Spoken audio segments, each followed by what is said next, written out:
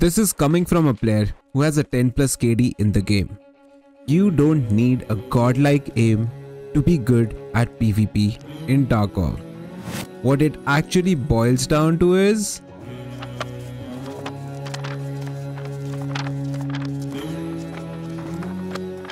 A lot of time PvP in Tarkov is like a game of tic-tac-toe. If you play your turns right, you will never lose. Well, mostly. Let's look at how we play this game of tic-tac-toe in Tarkov. Fight can be lost before it even begins. In this chapter, we are going to fix the biggest mistake most of you guys make almost every raid unknowingly, and that is not understanding the importance of preparation. Tarkov is a lot like the movies. You're just an ordinary guy against a group of bad guys, and your only advantage is preparation. So, what do you do? You prepare smart, and that is exactly what I'm going to teach you first. It is extremely important to decide the map and objective of your raid before you start building your kit. For example, say if you have a quest to kill 5 PMCs in Dom, then a gun which has a shorter barrel length would be more suited to your requirements because it allows you to peek through the doorway easily compared to a longer weapon.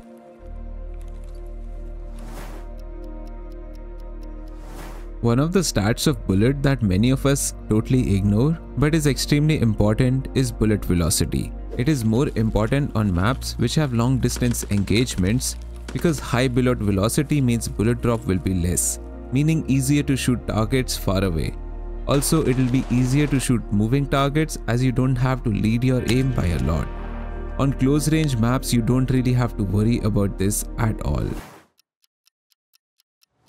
Now you can't do PvP if you're playing on high ping or you keep having ping spikes or packet loss. Having a stable connection to the server is bare minimum for PvP. Even the slightest reduction in your ping, as little as 10 ms can make a day and night difference in your PvP performance. This is why I recommend using GearUp Booster, which is like a one-stop solution to all your network problems. You get the lowest ping based on your location, it fixes all packet loss and ping spikes, plus you can easily switch servers if your servers are infested with cheaters, all on just a click of a button. If you want to check if your internet routing is one of the main reasons for your bad performance in PvP, then you can put your internet connection to the test by trying out the free trial of GearUp Booster. It's easy to use and it's safe. You're at no risk of getting banned if that's a concern. Make sure to download GearUp Booster from the link in description to reduce your ping now. I'm sure most of you know this, but let's refresh your memory. Now you cannot take down a PMC if your bullets don't penetrate through their armor. You should always check the penetration stats of the ammo that you're going to use. Use Tarkov wiki for this information, link in description. Easy way to check is find the ammo caliber and then look for the color table towards the right side. Green means bullet will penetrate and red means it would be stopped by that level of armor. Keep this link handy, I still refer to it regularly even after 3000 hours in the game. A lot of people make this mistake. They go for the lowest recoil possible on a weapon because they saw some streamer use this build. Low recoil is definitely good but if your weapon has poor ergonomics then you'll have a lot of trouble in PvP. Ergonomics mainly determine how responsive your weapon is. Look at the ADS speed of the same weapon at different ergonomics numbers. If it takes 1 second for you to just ADS, then you're dead before you even get a chance to shoot. Especially since patch 14, ergonomics is more important than recoil now. Recoil has been reduced by so much that you don't need to invest a lot in recoil reduction to make guns viable. Try out a weapon with high ergonomics and if you do love it, let me know in the comments below. Now your weapon does not have to be costly, there are always budget options available. Already done a detailed video on best budget weapon for PvP in the game, if you wanna check that out later, link is available in description.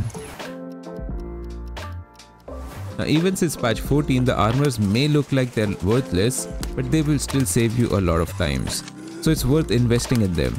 Also with the introduction of armor plates, you can customize your armors according to need like creating cheaper high level armors with more front protection, extremely lightweight armors and armors which provide extra protection all around are a few different possibilities. Now this is a video on its own and good for you I have already made it. You can check that out later in the link available in description. Your attachments are extremely important in deciding the outcome of a battle. Let's look at these two clips first.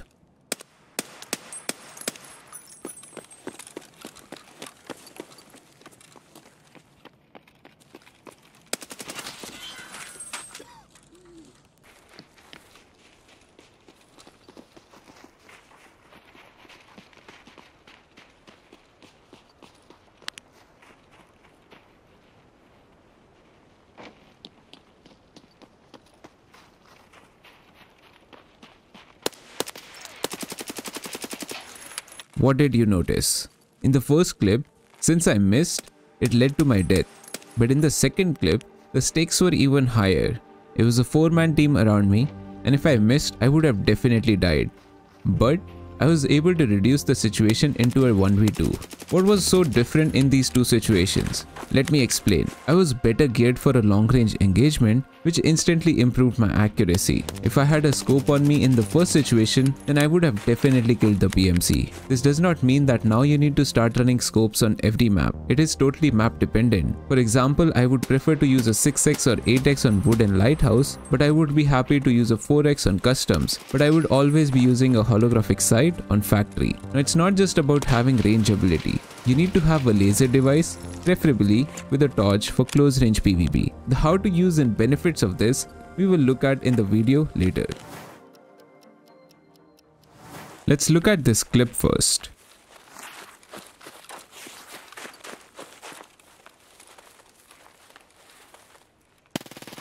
I was able to tell exactly where he was when I peeked him and he had no clue about me. Why? What did he do wrong? Now he's not wearing in-game headsets. I'm sure everyone watching already knows that headset increase the range from which you can detect footsteps. Now let's look at another clip.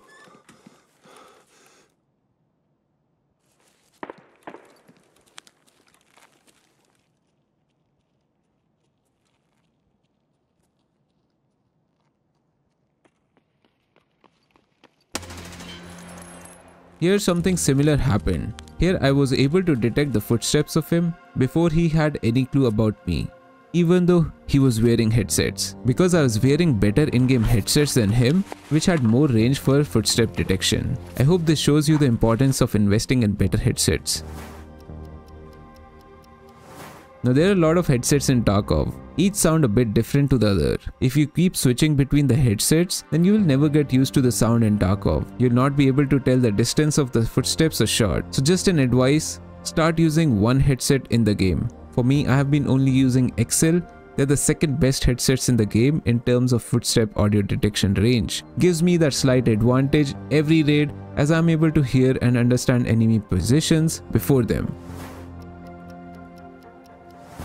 Injectors will save your life countless times. You're low on HP and still have to hold off an angle to defend your position or something as basic as running out of time and have to extract quickly. An injector case is an one-time investment and it will eventually pay back the worth because it's extra slots in your safe container which help you extract with stims every raid. I usually keep two propitals because it's the most useful stim to heal back, one ETG which is the last resort to heal back quickly one stim to stop all bleeds, one running stim and one weight stim. I keep 3 slots empty for the stims that I find in raid for making extra profit. I'm not going to talk about what fixes what. I'm sure anyone watching a PvP guide already knows that. What I want to talk about is which kit to use and why. Now this information is not available inside the game so most of the player base has no idea about it. But if you dig a little bit deeper, you'll find out that each of these kits have a max heal per use, which is less than 70 for AI2, CAR, AFAK and IFAK. But this number for Salewa is 85. Now why this number is so important for PvP? The thorax health of your character is 85. When you're fighting say someone with a DMR or a sniper, most of the bullet of these caliber deal from around 70 to 80 damage, unless they are flesh damage rounds, which are low risk to you if you're wearing a decent vest. Now if you're using anything except Salewas, you'll have to heal twice to get full health on your thorax, which is not always a possibility. Healing only once leaves you vulnerable to get one tapped on the thorax. On the other hand, if you're using a Salewa, you'll still need 2 shots on the thorax to die. This will definitely save you against those naked Mosin guys. This wipe, strength leveling is extremely slow and if you're like the most of the Dark Tarkov players still leveling up raiders, then this tip is extremely important to you. From stash itself, consider using light gear so that you're not easily overweight. Also your bag, rig, vest, helmet all have negative effects to your ergonomics and movement speed. So it's always a good idea to opt for a gear which has low or no debuff. You can double click any of these items to check the negative effect they have. The rip meaning how your PMC looks is easily neglected but important at the same time. There are two things. First your face mask and helmet color. Having an extreme color contrast on your face can act as an aim assist to your enemies. If you don't think this matters, try running a few raids with the UNTAR helmet and check how many times you died to headshots. I personally died a lot when I was doing my peacekeeping missions than usual. Try to mix face colors with the body armor or rig color so that it's harder for your enemies to go for headshots. Also this means you should always wear face cover. Now some glasses have a glow effect which can help other players spot you in the dark. Instead of remembering which glasses have this glow effect, I follow this rule. Only 4 glasses are worth in the game in the decreasing order of preference. Batwolf and Condors because they are level 1 eye protection. I have survived head eyes with them so they are totally worth especially because they can ricochet bullets. The other two are Gas Welder and John B because they have good enough protection from flashes. The second important thing here is your clothing. Again what you want to do here is try to mix the colors with your headgear so it's harder for your enemies to headshot you. Now every little thing mentioned so far requires you to have some rubles in your stash. If you don't have money or find it really hard to make money, then check out my guide on how to make easy money on Tarkov after this video. From now on, you should have no problem making money and should be rich enough to at least invest in minimum required gear. Now you're prepared well for a raid, which brings me to the second chapter. Do enjoy your party.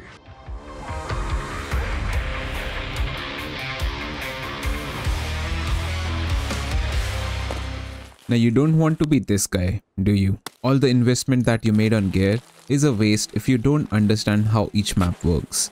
In this chapter, we'll learn how to read the minds of other players to help us improve our survival rate. Some fights in Tarkov are unavoidable. Just because you spawn at a location, you're now at an immediate threat from your adjacent spawns. It is important to know where the nearby spawns are and what path do they usually take so that you can anticipate PMCs at specific location at the start of the raid. Just this little info will save your life so many times and will give you free kills. Now you can always open the map on a different monitor and learn the spawns but if you're lazy like me then start learning from your raids. Where are your early raid fight happening? And where are other PMCs coming from? Where are you spawning every raid? If you start paying attention to these small little details, your survival rate will automatically start increasing. Because the most number of fights happen at the start of the raid. If you can survive this phase, then you can immediately increase your survival rate by a lot. While you're doing your own thing that is looting, questing, moving around, whatever, and you hear gunshots, then take a mental note that there is a possibility of a PMC in this direction. You can also figure out if it's a PvP or a PvE fight happening based on the shots. Mostly PMCs try to tap scavs and they go for full auto when they're up against other players. If you can figure out the weapon, that's a bonus too. Depending on your objective, you can use this information to your advantage. You can use other weapons weakness against it. For example, I saw this 3-man team headed to resort. Now this piece of information is available to me. Now when I had to go resort to do my quest, I was already prepared to fight a 3-man team. Similarly, knowledge about Quest can help you understand the objective of other players. Let's look at this clip. Here I spot the other PMC's Ushanka hat and it immediately told me that he's trying to do setup, which means he has a shotgun. Based on that information, I was able to decide the best approach for this fight. Little things like bush sound, metal footsteps, wood footsteps, looting sound give you a lot of information on the positioning of players. Sometimes information like door being open or closed can give you extra information. Let's look at this clip. This is just the start of the raid and the right side door should be closed. Since it's open, it gives me info on high possibility of a PMC in the location. So I start clearing angles and saved myself from a free death. Really self-explanatory, but something that we all forget to do all the time. With the amount of playstyles that exist in Tarkov, you never know when somebody is aiming at you and waiting for the right opportunity to shoot you down. So it's always a good idea to move cover to cover if you're moving in open ground. This will save you a lot of time if not always. Now if you're not on painkiller 100% of the time in your raids, then you're playing at a huge disadvantage. Especially since patch 14 the painkiller effect has been nerfed and it's not at all annoying to be on painkiller anymore. The cheapest painkiller Vaseline is just 20k on flea. It has 6 uses which last around 30 minutes. You should be completing one every raid. Imagine being this guy and maybe he learned the importance of painkiller the hard way so that you don't have to.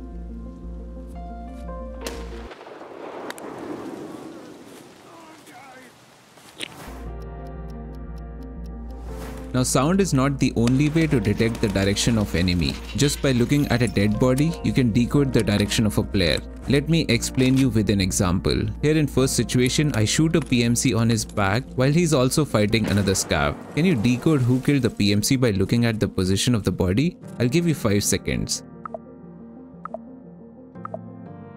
Since the PMC legs are towards me, that means the final shot was mine. You can confirm this by looking at the dog tag.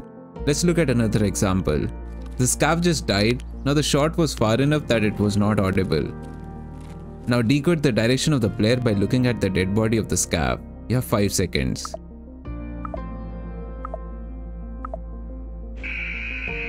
Now again you're looking where the legs are pointing at. It points towards the hill that means there's a PMC there. How can you use this? Say one of your teammate died and you have no idea where the shot came from you can quickly look at your friend's body to figure out the direction of the shooter. Or let's just say there was a recent PvP and now you can only see a body. You can use this information to give you an idea where the alive player might be ratting. This is where things start to get really intense. Now you know the fight is about to happen in the next few seconds. In this chapter we'll learn what you can do in this situation so that the tides of the battle turn in your favor.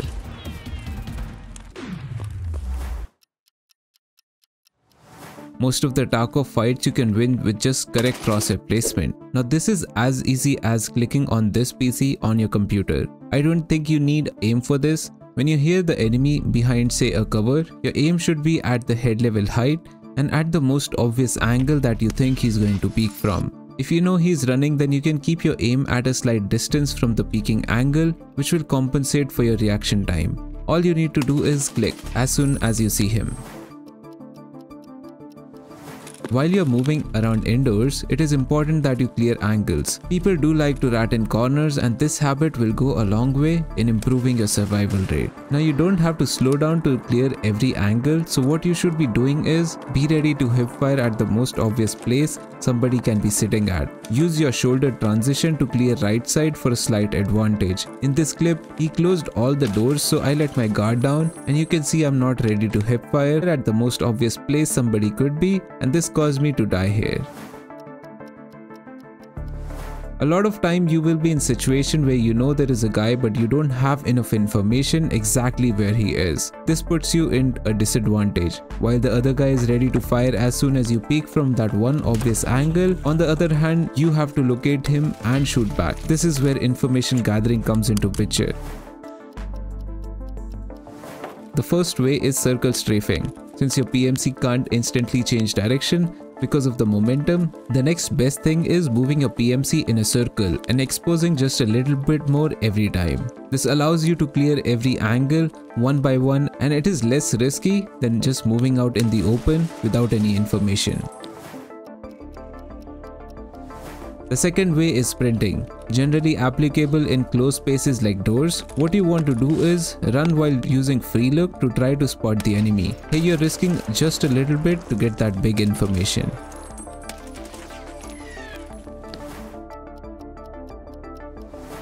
Third way is bunny hop, generally applicable in large corridor where you're obviously dead if you try to sprint across. What you do is jump in and jump out the same way you came. This movement is extremely hard to follow for your enemies.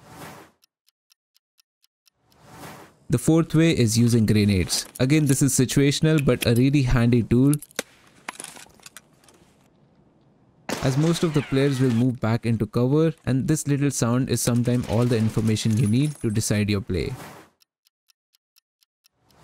Sometimes the best way to get information is do nothing. Every little thing that you do in Tarkov makes some sound. So if someone is holding an angle, he has to let go at some point because he's using stamina. So maybe if you wait, you'll get that little information that you need to confirm his position. Having that one extra piece of information can drastically change the outcome of the fight.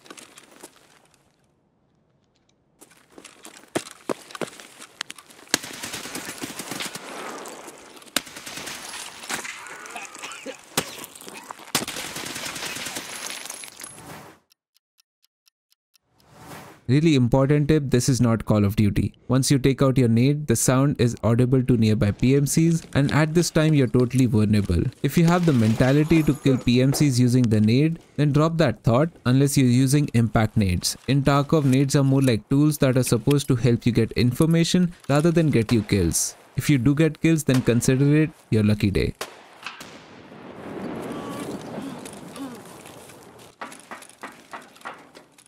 Oh, what? No way. If you see this yellow icon, that means your PMC is overweight. The more weight your PMC has, the slower he will move and you'll also suffer high ergonomics penalty. Both of these things directly impact our PvP capabilities. The quickest way to fix this is dropping your bag. Do note that when you drop your bag, the sound is audible to nearby PMCs. My bag is gone. No! What does it mean to control fights in Tarkov? It means that when the shooting begins, you're the one with the advantage. So the fight is happening on your terms and not the other guys. If you can make sure that's the case, you're always winning more fights. So how do we dominate this control in PvP? There could be multiple ways from something as simple as holding a push to baiting movement. When you're say holding an angle and the other player has only one obvious angle to peek from, then you're at an advantage as you're ready to fire and he has to locate you, then aim and then shoot. Let's say the situation is reversed. Now you have to push the other guy and he's holding an angle. Then you can bait movement using a grenade. This could be anything like a bait heal or pulling out a grenade or reloading. Now control also means that you don't give away your advantage. In this clip, I don't allow a shotgun player to close the distance and I'm always peeking from cover. Similar situation but here I show control by using cover to close the distance as the other guy is using a sniper and I have more advantage if I close the distance. So always think about what can your advantage be. If you don't have an advantage, how can you create an advantage? Like you can bait some shots and you can push when the other guy has to reload.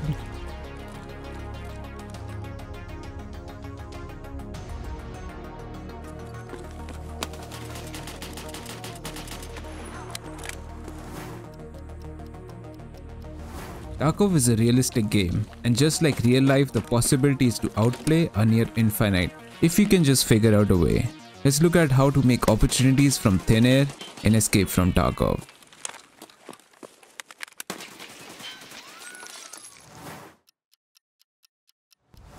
One of the most important and will take time to get used to tip. In Tarkov, unlike other games, you don't have a crosshair while hip firing, but hip firing is still extremely strong. reason for that is the movement speed of your PMC while hip firing is higher as compared to when ADS, so you will dodge more bullets if you start using hip firing in close range. Also hip fire is quite accurate especially if you're using a tactical device on your weapon, so bring this into practice and your close range win rate will definitely increase by a lot.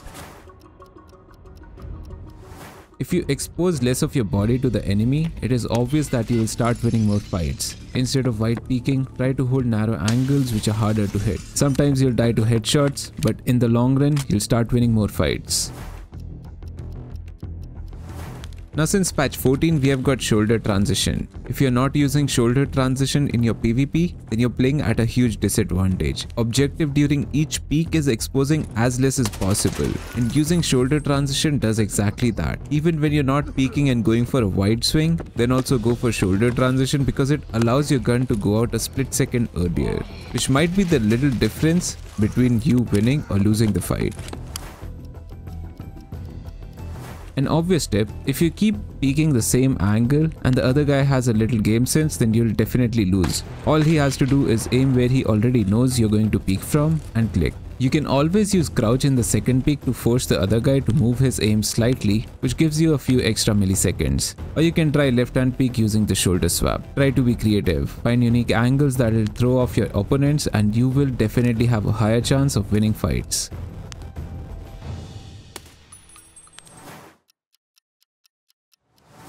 When you're healing or you have a nade in your hand, you can press tab and instantly reload your mag just like that. Abuse this bug to heal and reload at the same time during intense situations. Sometimes you both F up and you have to reload. Rare but happens all the time scenario. The one who reloads quickly wins. So a guarantee win here could be using quick reload, which is faster because it throws the current mag tip here is to set your reload on R and quick reload on Alt plus R so that even when you do a normal reload, there is no delay because game is not waiting for that quick reload. Using lasers is definitely going to improve your hipfire accuracy. Also since Tarkov does not have any crosshair on hipfire, lasers are a blessing. But flashlights are absolutely broken, especially indoors. They are so bright that they can make the opponent miss a few bullets and that is sometimes what you need in order to win fights. Try to turn on flashlight at the moment you peek instead of keeping it on the whole fight. This creates a surprise which the other guy is not prepared for and makes it harder for the opponent to be able to track you quickly. A bug that you can abuse is when you're running and if you ADS instantly, your PMC does not suffer any ergonomics penalty. So ADS is extremely quick. You can combine this with what we discussed in the peeking different angles every time. Now if you don't have a lot of options to peek from then you can run out of cover and quickly ADS to throw people off We're expecting you to peek from the same angle again. There are a lot of innovative uses of grenades, especially in a game where sound is so important and grenades are very loud. In this clip I used a grenade sound to mask the sound of the door opening and my opponent have no idea that I can push from another angle, which gives me a free kill. You can also try to mask your own footsteps if you're pushing or retreating by using grenade sound. You can somewhat mask the sound of pulling out a nade if you're using a voice line. Damn,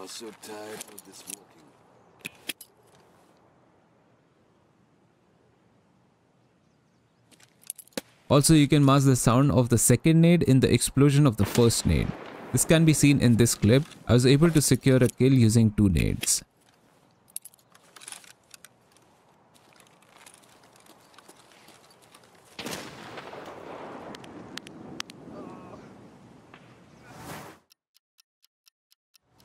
Learn all playstyles. You should be able to RAD, you should be able to W key or a mix of both, which is a passive aggressive playstyle. If you're getting free kills by doing nothing, take it. Because why not? If you have to be aggressive, say the other guy is low and you feel you'll get the win, then go for it. Sometimes closing up the distance and pushing is the key to win. When say your opponent is using a sniper or a DMR, the ability to transition from one playstyle to another based on the needs of the situation is the difference between a Tarkov Chad and a Timmy. Always W will definitely not give you the best survival rate, you have to understand the need of the situation and fine tune your playstyle according to it. Big teams are not that strong in Tarkov. The 4 golden rules of fighting big teams now the disadvantage when you are in a big group is that you don't get a lot of sound information because you're always overwhelmed by the teammates' footstep. Also big teams are fearless, they move around like they own the place Majority of the time you'll be able to spot them or hear them before they notice you. Now the first golden rule is when you initiate you should secure a kill. Try to be patient if required. If opportunity does not present itself then don't rush it. Now another bonus advantage you can give yourself is try to kill the biggest Chad in the group first and that is what maximizes your survival chance. Now once you have initiated and lowered their numbers what you want to do is convert the whole situation into multiple 1v1s. How do you do that? Use cover and peek one one PMC at a time. The more time you give them, the more information gets shared between the teammates and the more aware they become about the situation. Try to be quick after you have initiated. The third golden rule is do not get boxed in a corner.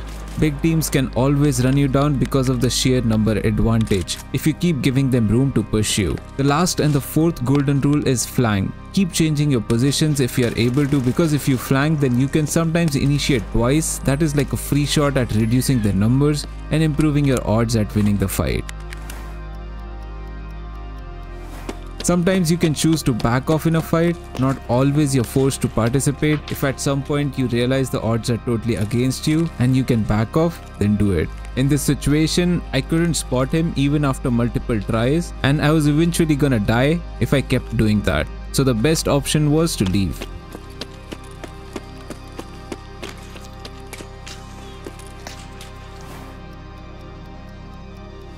Now the golden rule of Tarkov there is always one more. After you have killed an PMC, play like there's going to be another teammate. Clear the area before you start looting, look around, be careful. It takes time to improve, but at least with the help of this video, now you know what you need to work on. Now the only thing you need to do is not give up. Now all these tips are basically useless if you don't apply them. It is not an easy task to maintain your cool, especially when the PvP in Tarkov can get so intense. The only way to apply these learning is to train your mind so that you start making these decisions subconsciously. You start capitalizing these little mistakes of your enemies into opportunities that will win you fights. How do we learn to do this fast? We play Factory. That is the best map in Tarkov, no bullshit, has a total of 6 PMCs including you. So what you need to do is spam factory, try to win PvP against the 5 other players using the PvP arsenal that has been provided to you in this video. You don't even have to burn a lot of rubles to do this, run the build from this video and try Yule rig you're good to go. Keep repeating forever. If you have any questions, you can ask me directly. I stream almost every day on Twitch and if you still need more help with Tarkov, you can take coaching from me. You all know that Tarkov visibility indoors is extremely bad and sometimes this could be the reason you're losing PvP. There's not a lot you can do if you cannot spot the other guy. I have got the best Tarkov settings on earth, you have no idea what you're missing. And there's another thing that you're missing and that is using the correct sound settings which actually has a bug, I mean feature, that helps you listen to other PMC's footstep better. Click on this link on your screen now to fix your visibility and sound.